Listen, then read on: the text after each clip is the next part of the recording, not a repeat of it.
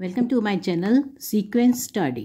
आज जो हम करेंगे वो है the pride of Thames, classroom assignment four, class eleventh, BBC.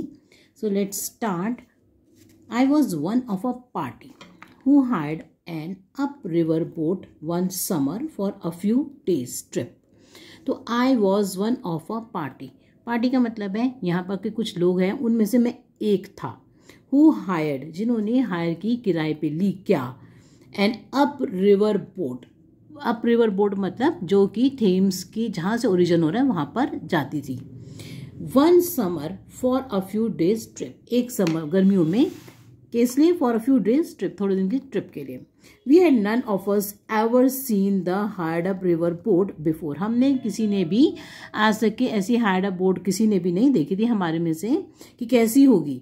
Before and we did not know what it was when we did see it और जब हमने देखा तो तब हमें पता चल, चला कि वो कैसी होती है। We had written for a boat हमने एक बोट के लिए लिखा था अ डबल स्कालिंग स्केप क्या वैसी होनी चाहिए? डबल स्कालिंग मतलब दोनों तरफ़ जाने वाली।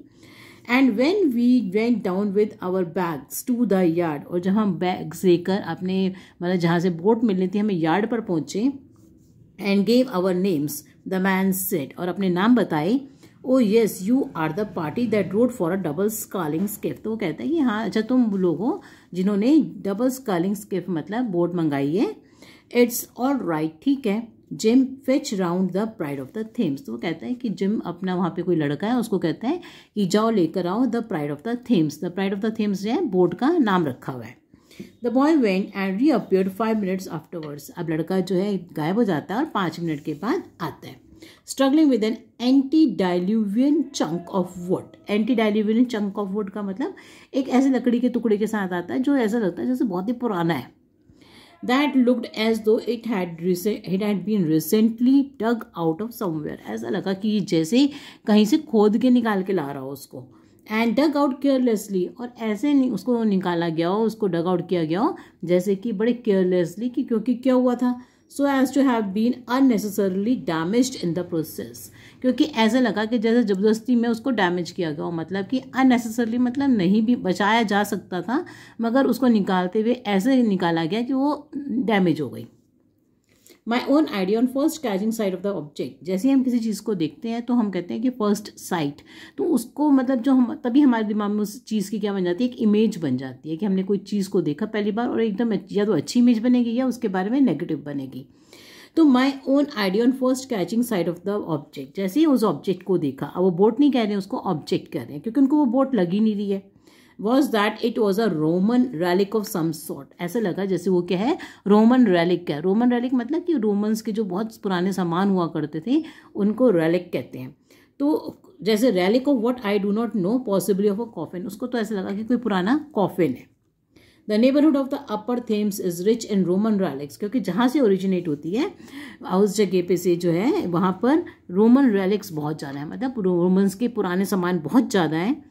And my surmise seemed to me a very probable one और जो वो कंक्लूड करता है मतलब कि भाई सरमाइज का मतलब या तो हम किसी बात को क्या करते हैं, जब कंक्लूड करते हैं रिज़ल्ट निकालते हैं किसी बात का, बिना उसके मतलब किसी प्रूफ के, अगर हम कहते हैं कि बस ये बात है, कोई हमारे पास प्रूफ ना हो, और हम कहते हैं कि ये बात है तो उसको कहते हैं surmise surmise seem to me a very probable one अब उसने अपना कंक्लूजन निकाल लिया राइटर ने but our serious young man अब देखो, जो उनका एक और आदमी था, जो उनमें सीरियस था तो वो कहता है who is a bit of a geologist वो थोड़ा बहुत क्या है जियोलॉजिस्ट है। पू पूड माई रोमन रैलिक थ्योरी तो वो पू पूड का मतलब डिसमिस कर देता है, कहता है रिजेक्ट कर देता है। कहता नहीं। रोमन रैलिक थ्योरी को वो रिजेक्ट कर देता है कि नहीं, ये चीज़ नहीं है। क्या है ये? And said it was clear to the meanest intellect और ये जो है किसी भी इंटेलेक्ट इंसान को क्लियर है। क्या क्लियर है? In which category he seem to be grieved grieved मतलब दुखी होता है, जिस कैटेगरी के लिए वो दुखी होता था। Then he could not consciously include mind कि वो जो है, अपने कॉन्शियसली जो है, उस बात को नहीं वो कर पा रहा है इंक्लूड नहीं कर पा रहा, मान नहीं पा रहा है। क्या? That I think the boy had found कि जो चीज़ लड़का लेके आया है। Was the fossil of a whale तो वो कहता है, ये क्या है? फॉसिल है किसका? ढांचा है स्केलेटन है किसका? एक वेल का। And he pointed on to out to us various evidences और बहुत सारे एविडेंसेस बताते हैं proving that it must have belong to the pre glacial period और कहते हैं कि ये किसको बिलोंग करती है? प्री ग्लेशियल पीरियड को बिलोंग करता है। और ये वे, वेल का क्या है? स्कैल्टन है। तो यहाँ पर क्या है? वेरियस एविडेंस है। वो प्रूफ के साथ उन्होंने कहा। टू सेटल द डिस्प्यूट अब देखो डिस्प्यूट क्या है? यही है कि ये बोट है कि फॉसिल मतलब कि वेल का स्केलेटन है, क्योंकि वो तो कह रहे थे कि ये बोट नहीं है मतलब राइटर कह रहे हैं मतलब कि क्या है ये? एक कह रहा है फॉसिल है उसका वेल का तो दूसरा कह रहा है ये रोमन रैलिक्स राइटर कहता है। तो ये डिस्प्यूट चल रहा है। To settle the dispute we appeal to the boy हमने बॉय को क्या कहा? अपील किया कि we told him not to be afraid कि अफ्रेड मत हो, डरो मत but to speak the plain truth it the fossil of a pre Adamite whale और was it an early Roman coffin अब देखो to settle the dispute dispute तो ये है कि जो राइटर है, वो कह रहे हैं कि ये जो है, वो वो है पहले वाली चीज़ क्या कहते हैं? रोमन रैलिक है। और दूसरा वाला कह रहा है कि ये क्या है? वेल का स्कैलेटन है। तो boy the boy said that it was the pride of the Thames पर वो लड़का तो फिर भी अकड़ा हुआ है। कह रहे नहीं, ये तो प्राइड ऑफ़ द थेम्स ही है। We thought this is a very humorous answer on the part of the boy at first पहले तो हमें लगा ये मज़ाक वाला जवाब है, ऐसी मज़ाक में बोल रहा है।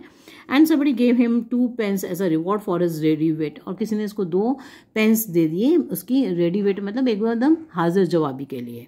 But when he persisted in keeping up the joke मगर वो जब यही बात जोक को परसिस्ट करता रहा मतलब कंटिन्यू एक ही बात कहता रहा as we thought too long we got vexed with him अब देखो, जब वो बार बार किसी बात को अपनी फिक्स होकर बैठ गया तो उनको क्या लगा? वेक्सड का मतलब होता है प्रॉब्लमेटिक अब वो जो है we got vexed with him मतलब कि हमें अब उसके साथ प्रॉब्लम होने लगी, क्योंकि वो हम, उनकी बात जो है, लड़का जो उनकी बात नहीं सुन रहा था। Come come my lad. अब वो कहते हैं सेट आवर कैप्टन शार्पली अब इनका जो कैप्टन है राइटर का तो वो कहते हैं, कम कम, इधर आओ। Don't let us have any nonsense हमें कुछ नॉनसेंस नहीं चाहिए। You take your mother's washing tub home again and bring a support अब वो तो कह रहे हैं कि ये क्या है? वॉशिंग मशीन है उसकी माँ की पुरानी। और वो कहते हैं, इसको लेके जाओ वॉशिंग मशीन को and bring us a boat और एक बोट लेकर आओ। The boat builder himself come up then. अब बोट बिल्डर खुद ही आ गया जिसने बनाई है। And assured us on his word as a practical man that the thing really was in fact the boat अब वो भी कहने लगा जो बोट बिल्डर है कि ये तो क्या है? सचमुच में बोट ही है। Double sculling scale selected to take us on our trip down the river ये हमें जो है नीचे ले जाएगी। ऊपर ले जाएगी sorry the we grumbled a good deal. अब हमने ग्रम्बल किया लड़ाई झगड़ा जैसे मतलब होता है इस तरह से करा मतलब गुस मतलब भैंसबाजी की। We thought he might at least have had it whitewashed और टार्ड अब हमने कहा कि कम से कम अगर इसको वाइट वॉश पेंट तो कर देना चाहिए था और टार्ड टार्ड का मतलब उसके ऊपर चारकोल की जैसे हम कहते हैं ना चारकोल लगाना टा, टार का मतलब है तारकोल तारकोल से बना है ये वो टार्ड मतलब कि चारकोल लगाना चाहिए था कोयले वाली जो होती है। Had something done to it distinguish it from a bit of wreck कि जैसे कि थोड़ी सी तो अलग लगती है, जितनी टूटी फूटी है, थोड़ी तो ठीक लगती but he could not see any fault in it अब मगर उसको तो बोर्ड बनाने वाले को उसमें कोई कमी नज़र नहीं आ रही है। He even seemed offended at our remarks अब वो उसको ऐसा लगा, बुरा लगा। हमारी रिमार्क्स पे he said he had picked us about the best boat in all the stocks and the thought any thought you you might have been more grateful तो वो कहना कि मैंने तो सबसे अच्छी बोट आपके लिए लाया हूँ और तुम्हें जो है, मेरे को उल्टा थैंकफुल होना चाहिए कि सबसे अच्छी बोट तो मैं आपको दिखा रहा हूँ. He said, the pride of the Thames had been in use just as it now stood or rather as it now hung together. अब वो कहता है कि ये जो है क्या है प्राइड ऑफ़ द थेम्स जो है, वो had been in use just as it now store ये तो कई सालों से ऐसे ही यूज़ हो रही है। जैसे खड़ी है for the last forty years चालीस साल से to his knowledge and nobody had complain of it before and he did not see why we should the first to begin और उसने को, किसी ने भी आज तक इसके बारे में कंप्लेन नहीं की है, और वो हम जो है, पहले थे जो कंप्लेन कर रहे थे। वी आर्ग्यूड नो मोर अब हमें समझ में आ गया कि इसके साथ आर्ग्यू करना बेकार है। We fastened the so called board together fastened का मतलब उसकी रस्सी खोल देना और बोर्ड को ले जाना with some pieces of string got a bit of wallpaper अब थोड़ा सा वॉलपेपर लिया and pasted over the shabbier places और जहाँ बहुत ज़्यादा गंदी लग रही थी वहाँ पर वो वॉलपेपर चिपका दिया। सेड अवर प्रेयर्स अब प्रेयर्स करी। प्रेयर्स इसलिए करी क्योंकि उनको डर था कि भैया टूटी हुई है, कहीं और टूटता रस्ते में हम आए हुए हमें डूब ना जाए हम। And stepped on the board और भगवान का नाम लेकर हम बोर्ड के ऊपर चढ़ गए। They charges thirty five shillings अब उसका किराया देखो कितना ले लिया उन्होंने थर्टी फाइव शिलिंग्स ले लिया। For the loan of the remnant loan मतलब कि अगर ये टूट ताट जाए तो एक तरह से लोन हो गया। रेमनेंट मतलब वही बोर्ड को कहा टूटी फूटी से जो टुकड़ा है फॉर सिक्स डेज़ छः दिन के लिए and we could have bought the thing out and out for four and six pence at any sale of drift wood round the coast तो वह कह रही है तो हमें जो है, हम तो खरीद ही लेते हैं, इसको ऐसी ऐसी चीज़ को जो हमें सिर्फ़ फोर एंड सिक्स पेंस की मिल जाती किसी भी कोस्ट पर. अब let's start with question answers and please if you are new to my channel then don't forget to like share and subscribe to my channel. Please subscribe my channel If a boat is called the pride of the Thames, it is expected that the boat will be a boat of an exquisite quality. क्योंकि अगर कोई वो चीज़ कोई चीज़ pride होती है तो हम उसके ऊपर प्राउड का फील करते हैं। जब हमें वो बहुत ज़्यादा अट्रैक्टिव हो ब्यूटीफुल हो या बहुत ज़्यादा क्या हो मतलब कोई उसमें स्ट्रेंथ हो या कोई चीज़ अलग सी क्वालिटी हो जिसके लिए हम कोई क्या करते हैं फील करते हैं प्राउड तो इसमें क्या है क्या वर्ड आएगा? एक्सक्यूजिट है मतलब कि बहुत सुंदर हो अगर वो बोट होती इस तरह से आएगा। ब्यूटीफुल या एलिगेंट है ना और सब जो है नेगेटिव इसमें आगे the name the pride of the Thames was a very ironical name for the boat explain because देखो the name the pride of the Thames was a very ironical name for the boat because the pride of the Thames should be a boat of an exquisite quality. But this boat appeared to be a shabby relic and remnant. It looked that it must have belonged to the pre-glacial period. Comment on the author's reference to the boat in paragraph 3. Author calls the boat as an antediluvian chunk of wood because antediluvian means old-fashioned or ancient and the boat appeared to him as very old or ancient piece of wood. Any problem you can ask me in the comment box. Next, to the author and his companion, the pride of the Thames could be anything except a boat. According to the author, the pride of the Thames could be anything except a boat because it looked to author as a Roman relic of some sort relic possibly of a coffin and to his companion it appeared as the fossil of a whale. Next, to settle the dispute, the dispute here is that according to the boy it was boat but according to the author and his companion it was a coffin or the fossil of a whale. Next, in which category आप इसको इसमें भी ये भी लिख सकते हो जो डिस्प्यूट था वो नरेटर और ऑथर के वो उसके कंपेनियन के बीच में था the dispute was between narrator and his companion that he called it उसको कहा कि that it was a fossil and he called it a Roman relic but dispute तो तीनों में चल इन दोनों के बीच में ज़्यादा डिस्प्यूट चल रहा है। In which category he seemed to be grieved that he could not uh, consciously include our तो ये people who are experts of fossil studies तो इसमें यह आएगा क्योंकि जो फॉसल स्टडीज़ की करते हैं, उनको का, उसके ऊपर वो ग्रीव्ड था।